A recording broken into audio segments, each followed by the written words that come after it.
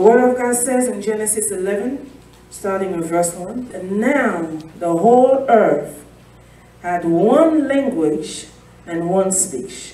And it came to pass as they journeyed from the east, that they found a plain in the land of Shinar, and they dwelt there. Then they said to one another, Come, let us make bricks, and bake them thoroughly. They had brick for stone, and they had asphalt for mortar.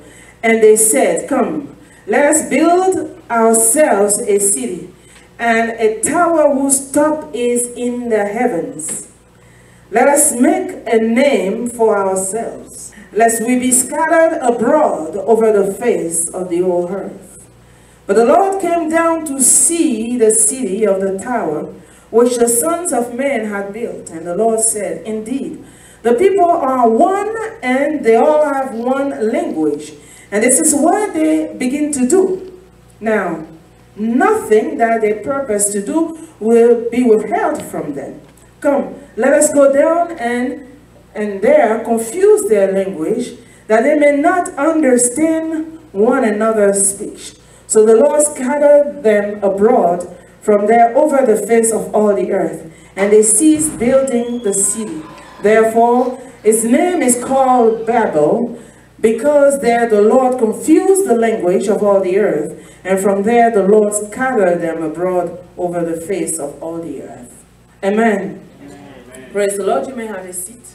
Hallelujah. Praise the Lord. That we are getting into the word that we already, I'm sure, at least we know of the story of the Tower of Babel somehow.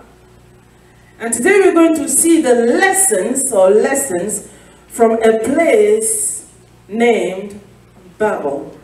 You read here the story you see people, you know, men gathering together, being in an environment, they got to a plain, you know, so that place looks like something needs to be built on it.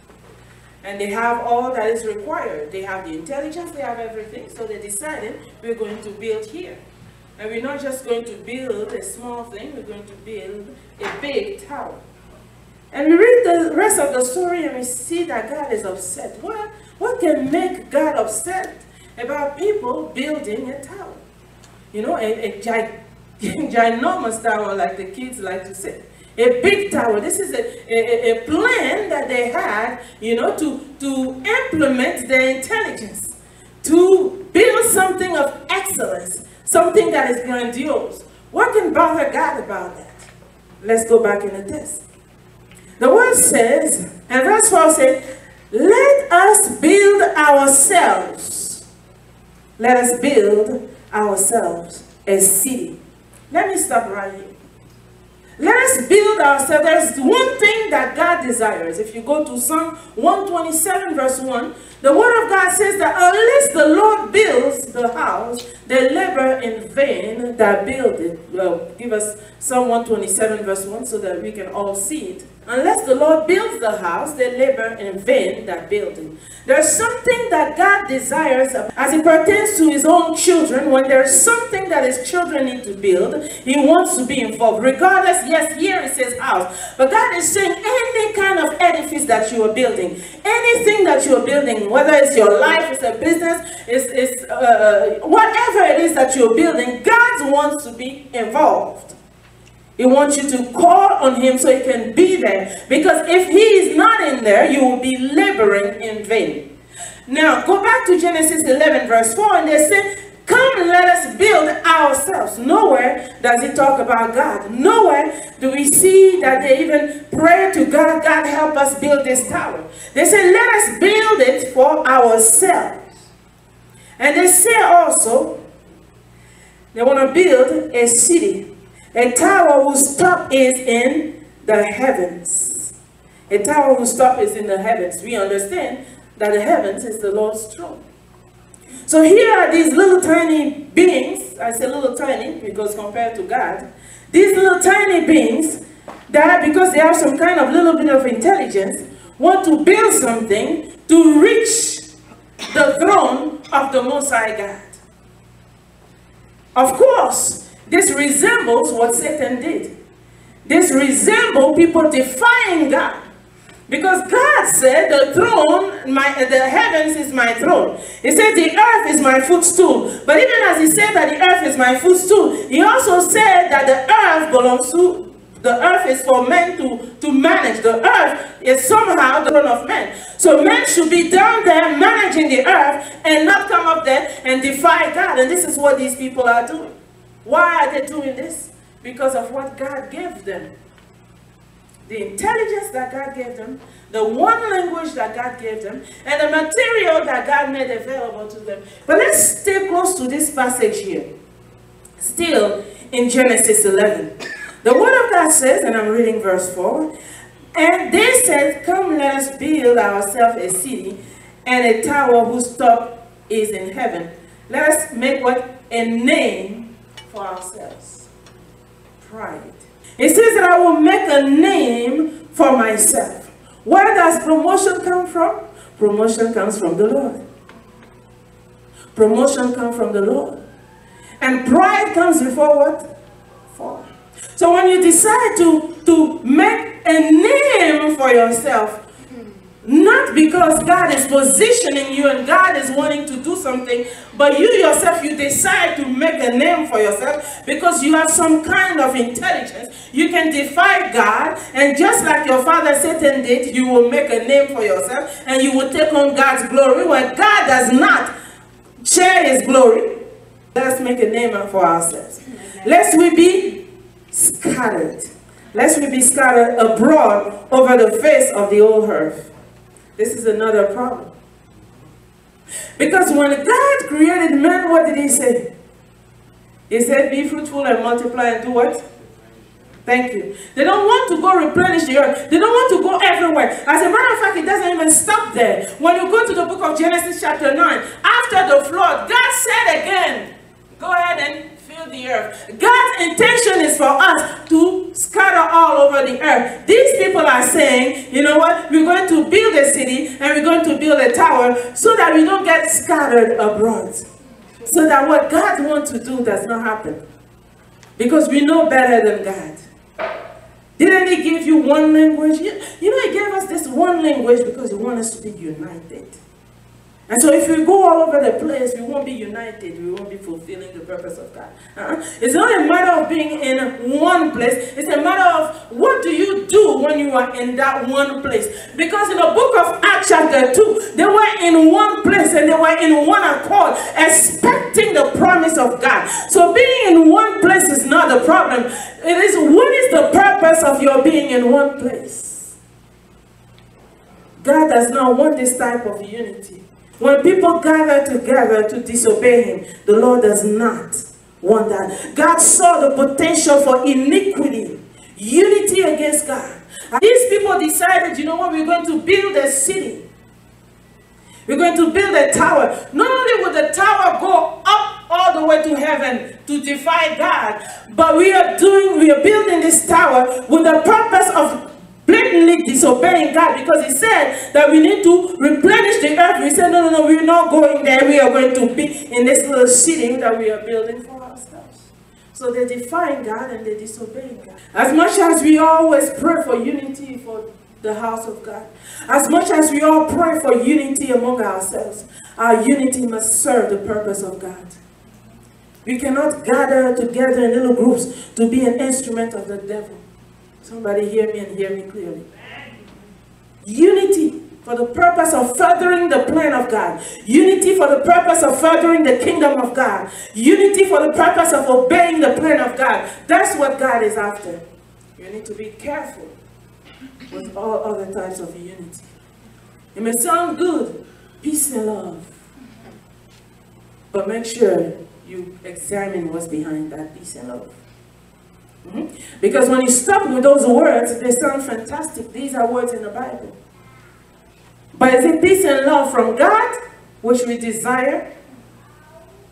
Which we know that because God is not God is not willing that any should perish, but all should come to repentance. We go after people to share the gospel with them. We go after people to say that you know what, you are better than this. God has so much for you in store. You are destroying your life. God loves you too much. He wants you to fulfill your purpose. We do this because we share the love of God. But there's another type of love and peace that's not what we want. We want the love of peace, love and peace that pulls people from the darkness. We want the love and peace that, that, that pulls people from the hands of Satan. We want the love and peace that pulls people from, from destruction. We want the love and peace that pulls people from, from their, the, the altars that have been built, from their family, from generation to generation, to toward their purpose. We want to pull them from there and bring them into the kingdom of light. This is the love and peace that we want to share. Because the love of God is always for our good and for His glory. There's no plan that God has for us that is a plan of destruction. So let's continue on and read. They said, they said, Come, let us build ourselves a city and a tower, those whose top is in the heaven. Let us make a name for ourselves, lest, lest we be scattered abroad over the face of the whole earth. I don't even know if I can move on from this passage because there's so much. They say that they are going to build a tower for themselves to reach the heaven. There's a way to reach the heaven that is only designed by God. You don't reach the heaven your own way. Whether it's while we are still here on earth and there's an there's an issue and, and, and we are praying because as, as we like to say, we want to bombard heaven so that we can hear from heaven. There's a way to do that. Sometimes, while you're fasting, you're wasting your time because God is expecting repentance from you, for example. For example, is is expecting you to forgive someone. And you are out there fighting, bombarding, doing all kind of stuff. And nothing is working. Because there's a way to reach him for that particular situation. Hallelujah. Amen. And overall, for salvation, there's a way to reach him. He sent his only begotten Son, and the Word of God tells us that it is only through him that you will reach the Father. These people decided that they will reach heaven because they have the intelligence. They have the strategies. I mean, they know how to do it. But it doesn't matter what you know. Is it what God says? Is God telling you that this is how you reach heaven? So these people, the word of God says that, that they had bricks of stones and they had asphalt for mortar. I'm reading this and there's something else that, that I want to say. I'm, i might be stretching it a little bit, but I will take, I, I will go that far. The word of God said that even if no one will worship God, Will even raise stones to worship him. They're using God's creation to disobey God. Instead of using God's creation to worship God, they're using God's creation to disobey God. Those very stones that God says that even if nobody was worshiping, He will raise those stones to worship Him. They use stones to build mortars, to build bricks, because they have their own plans. All the nature that God gave us. Number one, there's no such thing as mother nature, I'm going to say. The nature that God gave us, that God gave us, it didn't just, it's not the universe. the universe is, uh, the universe is a creation. The nature that God gave us is intended for us to see the glory of God. Not only to, for us to use and everything, but to see the glory of God. Because even nature paints a picture of the glory of God. When you walk around and you see those beautiful flowers, I know we don't see a lot of them here. But when you see nature, you see the beauty of nature, you say, wow, God. God gave them one language because God wanted them united. Like he wanted the disciples united in the, the, the upper room, waiting for the promise of God.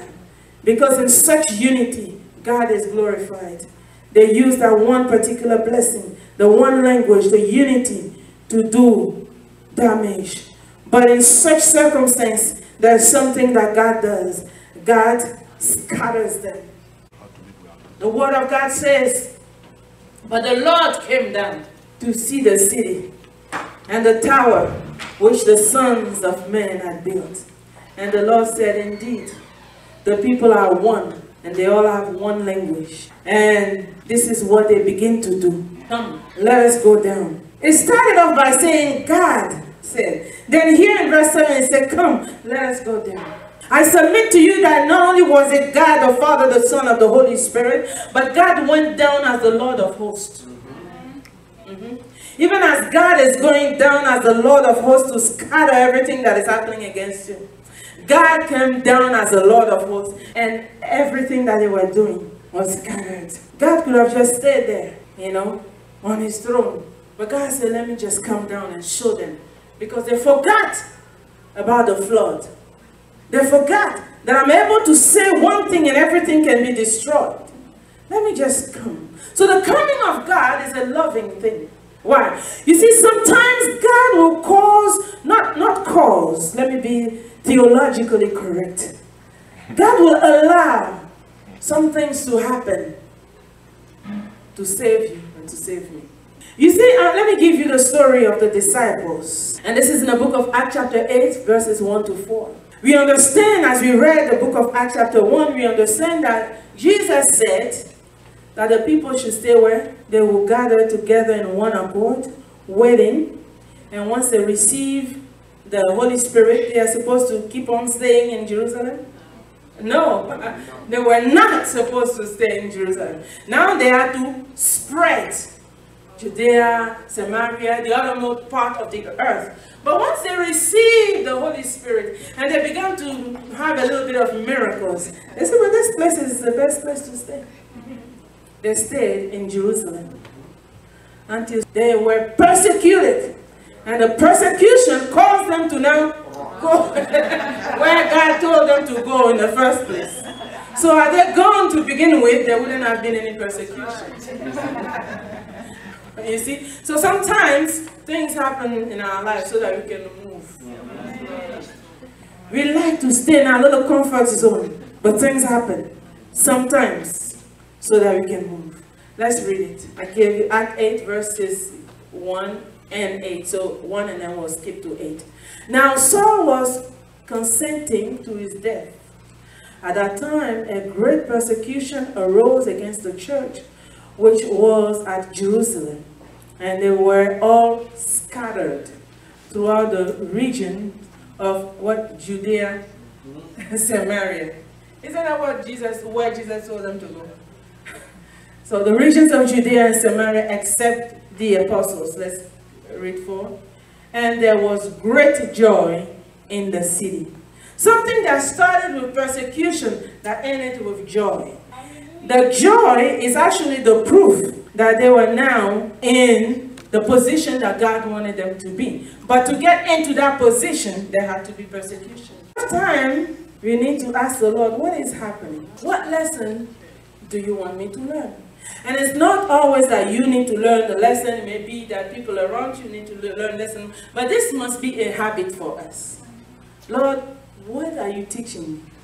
I don't like what's happening, but what are you teaching?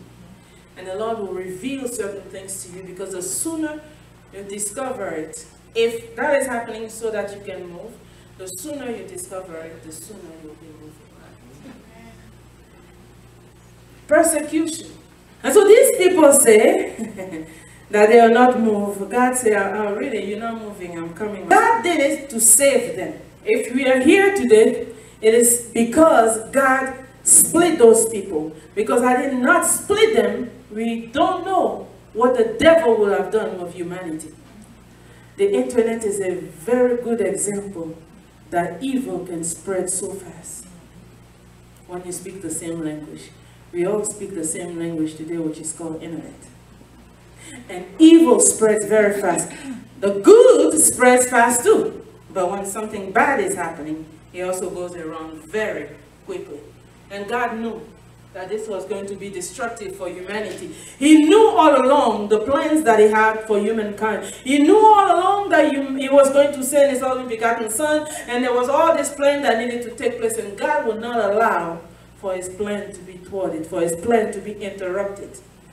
God will not allow for his plan to be interrupted. God did not allow for his plan to be interrupted. God will not allow for his plan for your life to be interrupted. Amen.